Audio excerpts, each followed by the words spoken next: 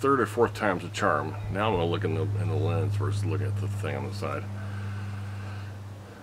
Um, more safety videos. Um, one of the most important things you need to have when you're cycling, especially when you get out of the neighborhood. I mean, if you're dealing with kids riding, that's one thing around the neighborhood, riding through parks, things like that. But once you get on any sort of a road, um, is visibility.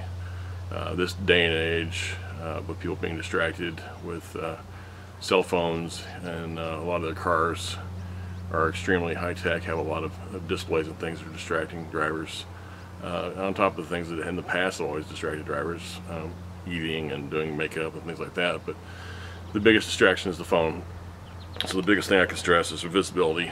Um, uh, Bicycling Magazine said that the chance of you having a problem with a car uh, when you're out riding is getting hit from behind. 65% uh, of the time that's what will happen, you'll get hit from behind. And, and lighting is huge. You need to have some sort of lighting to help with their ability to see you. Uh, this is a tail light. These are both uh, lights.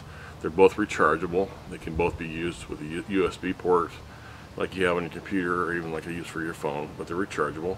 This is a fast, fast flash, a slow flash, which I use a lot. A lot of people will put two of these on a bike and have them going back and forth. That way when a driver comes up from behind, they'll, they'll know you're there. and if, especially if it's dawn or dusk, lighting's low, uh, these things are a lifesaver. Headlamps are different. Um, a lot of people use them, but I would say more uh, no than yes. So they're they blink too. A little hard to turn on. Yeah, real fast flash. That flash, if a, a car's coming towards you, will, will, will make people stop what they're doing and pay attention, which makes them undistracted drivers versus distracted. So these lights I think are critical too, and you can really see that on the video. Um, the nice thing about both these units, this one actually has, you can turn it on to a headlamp. Like if it's dark outside and you're trying to get home, you can see where you're going. Um, they both have built-in straps. There's no need for any kind of mounting equipment or anything like you used to have in the old bikes, bike uh, lights.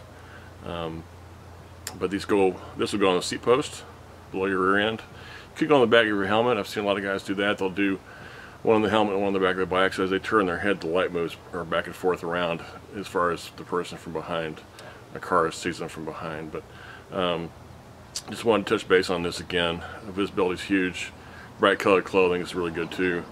With lights really seem to help. Um, people, you really see a cyclist uh, who um, is riding with lights. So